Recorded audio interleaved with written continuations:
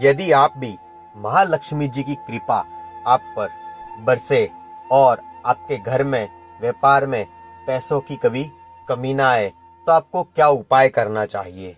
आपको हमेशा विष्णु भगवान की पूजा करनी चाहिए। जब भी कोई ऐसे मंदिर में जाइए तीर्थ स्थल पर जाइए, जहाँ पर विष्णु और महालक्ष्मी जी की दोनों साथ में प्रतिमा या तस्वीर हो तो आपको वहाँ पर आपको दर्शन अवश्य करने चाहिए या फिर घर के अंदर भी आपको ऐसी तस्वीर लगानी चाहिए जिसमें विष्णु भगवान और महालक्ष्मी जी की तस्वीर दोनों की साथ में हो। तो जब भी आप महालक्ष्मी जी का और विष्णु भगवान का दोनों का आराधना करनी हो तो आपको एक छोटा सा मंत्र है, वो आप अवश्य जाप करिए। ओम महालक्ष्मी च विद्मही विष्णु पत्नी च धीमहि तन्नो लक्ष्मी प्रचोदयात।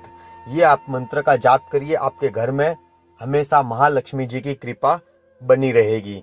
दूसरा है कि आपके घर में महालक्ष्मी जी की खड़ी तस्वीर जो है या खड़ी मूर्ति है तो आपको ध्यान रखना चाहिए, क्योंकि खड़ी मूर्ति हो तो महालक्ष्मी जी जैसे दरवाजे से पैसा आता है, मगर खिड़की से चला जाएगा।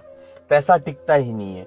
तो इसके लिए हमें क्या करना चाहिए? हमारे घर में या व्यापार स्थल पर महालक्ष्मी जी की तस्वीर जो है, वो कमल पर विराजमान हो और कमल के अंदर जो बैठी हुई हो, वैसी तस्वीर या वैसी मूर्ति अपने घर में या किसी भी स्थल पर अवश्य रखें और उनका पूजा पाठ कीजिए और आपको एक ही ये मंत्र जो बताया है, इसका अवश्य आप जाप करिए।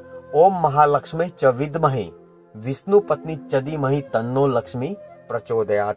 जब ऐसा होता है कि शिव और शक्ति दोनों का नाम लेते हैं तो उसी तरह से हमें भी विष्णु भगवान का और विष्णु भगवान की अर्धांगिनी जो है, उनकी पत्नी है, उनको भी नमस्कार